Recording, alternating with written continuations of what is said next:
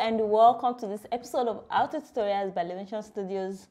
My name is Lydia and in this video I'm going to show you how you can convert meshes to shape keys in Blender. Let's get started.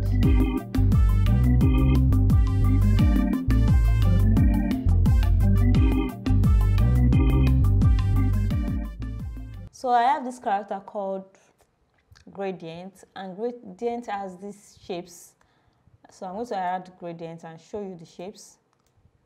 Jaw down, lower lid left, smile, and upper lid L.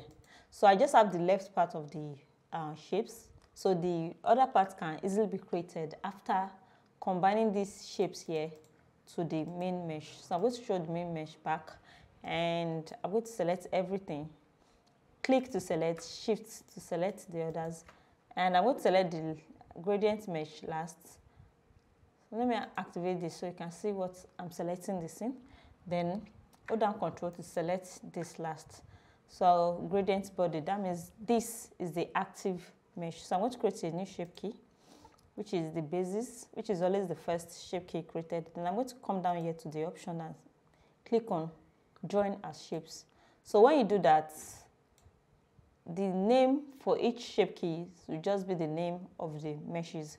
So now I'm going to hide these shapes.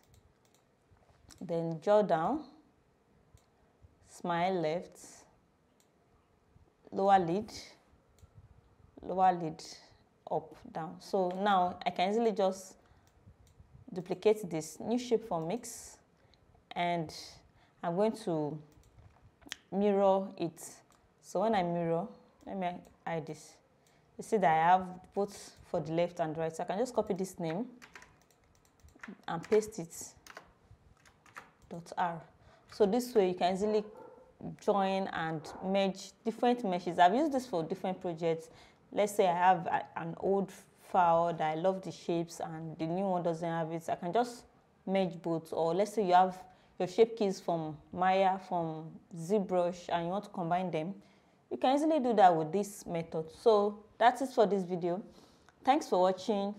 Like the video, subscribe, click on the notification bell to get notified every time we upload videos like this. And until next time, stay true to your creativity. Bye-bye.